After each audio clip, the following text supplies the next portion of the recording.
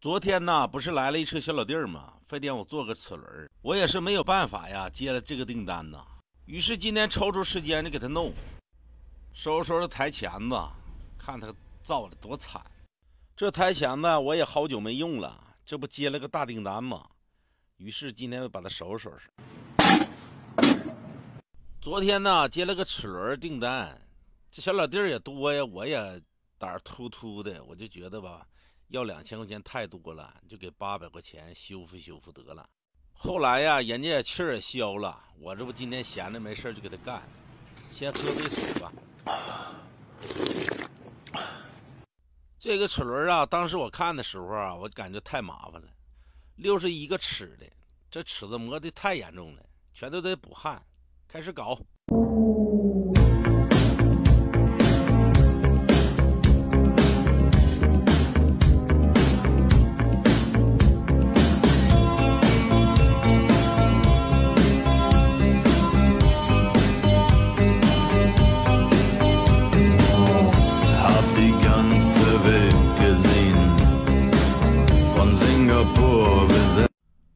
尺子这也补完了，耗了我一下午时间呢。下一步啊，把这个端面再补一圈因为这个端面你焊的高低不平，加工出来不一定平整。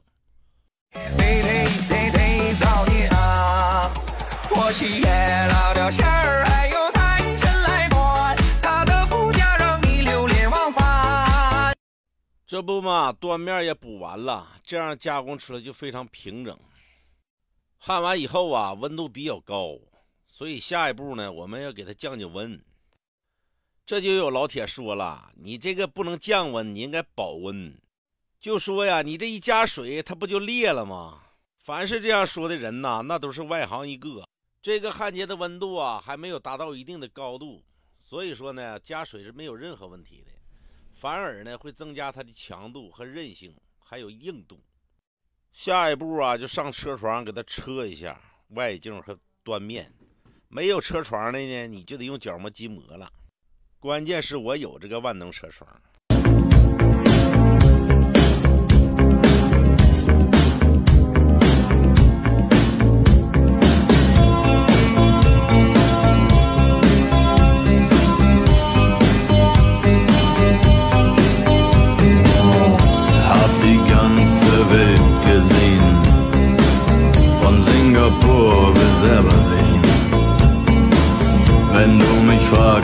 Am schönsten war, sag ich Sansibar. Es war eine harte Überfahrt. 插个曲儿啊！最后一步啊，就用这种超薄的切片来修复齿轮造型，这个就要看你的手法了。没有个二十年的老师傅啊，你是根本干不了这个活的。所以说，这八百块钱呢，也不是谁都能赚的，没个水平可不行。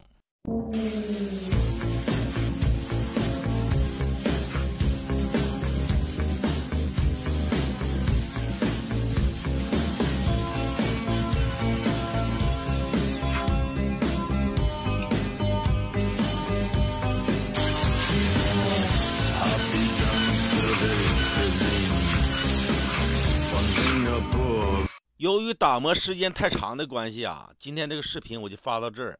想看大明哥如何把它修复完成，请看下一个视频，看看大明哥修复的效果能不能达到你们的要求。